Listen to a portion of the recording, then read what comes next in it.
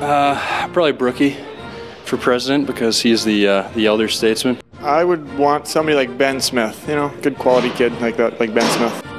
Richie, because he went to Yale. I would say Carter Hutton. Reason why uh, gets along with everybody and uh, you know likes to joke around, but uh, when it's time to get serious as far as his pregame ritual, he's uh, he's definitely in a zone that no one can get into. So I think he's pretty focused, and he'd be good that uh, you know being the president. Probably go with Lebda, actually, surprisingly or not, but uh, you know he's been around, knows knows the ins and outs, and loves to have a good time. So keeps things light no matter you know how things go. So I'd probably go with Lebs. I got to go with uh, Jeremy Morin. He's got a lot of ideas, and uh, I don't know. We think uh, we think the same. Uh, probably Smitty's. Uh, he's a little sneaky like those politicians, but uh, he's also pretty smart, and you know, I think he'd take good care of us.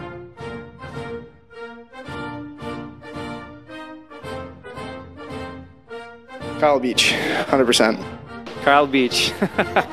Reason why I think you, you'll get the same answer from everybody. Uh, Kyle Beach, that's pretty self explanatory. Uh, I don't think he's very straightforward, and I don't think he's the sharpest tool in the shed, so Kyle. Well, I mean, I wouldn't vote for myself, so that's probably up there. And I mean, who wants to leave the country anyways? You can live a fun life without that.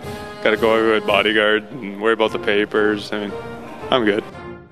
If I did get voted, I mean, I'd probably be a pretty sick president.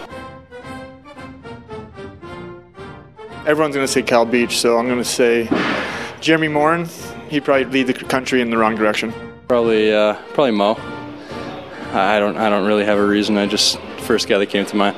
Shazi, just because who knows what he would do. Uh, I'd probably have Brookie. He uh, just lives for that kind of stuff, and uh, just a warrior and a leader, and, and so I'd give it to. You're uh, military, and why? Philippe Paradis.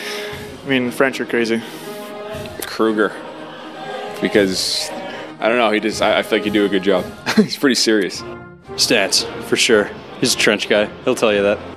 Military, go with Ryan Stanton because uh, he's a warrior. I don't know. I mean, I guess I block a lot of shots, and but yeah, that's, I guess that's cool.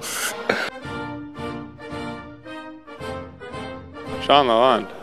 And he's got no good reason to be a politician, so he's going to have to make something up.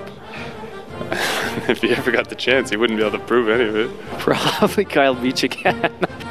Beachy, probably. Kyle Beach is gonna. Yeah, I got to go with Kyle Beach as well. Probably once again Kyle Beach. I'll go with Beach or Clendening. I don't know. I'm not sure about that kid yet.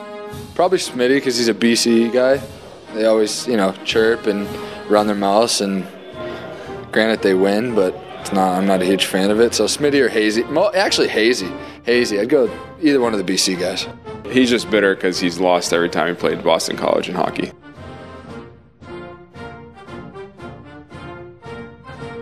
AHL Player of the Week there, Kyle Beach.